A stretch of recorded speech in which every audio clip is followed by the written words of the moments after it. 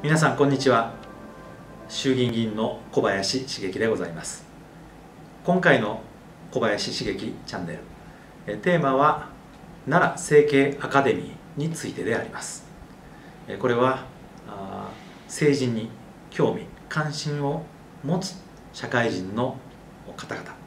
あるいは将来政治の場に挑戦しようという政治家志望の方々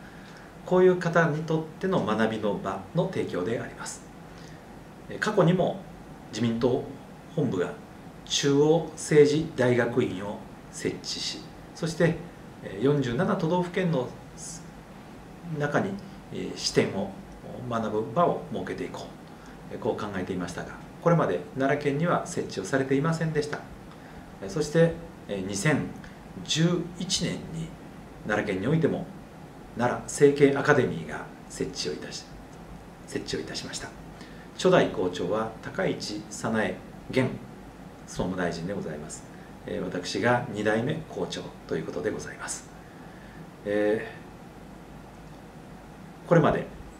市町村議会そして県議会、挑戦をしすでに就任をされた政治家の方々もおられます。私もこの奈良整形アカデミースタートした時点では奈良県議会議員でございましたが学びの場を提供する中で国政への意欲が芽生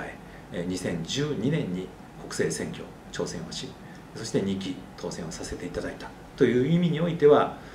アカデミーで学んだ政治家ということにもつながるかと思います。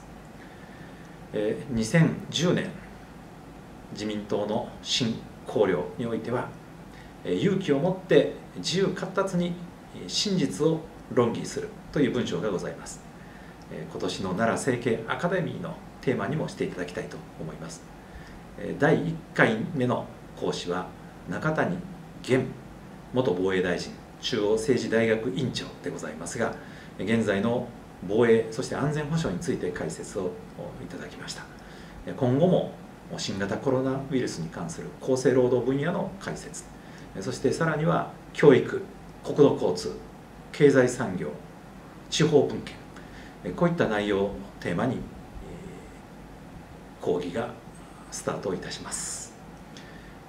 毎年このような学びの場を提供してまいりたいと思っております。皆様方皆様方も興味関心のある方は是非来年応募してください。よろしくお願いいたします。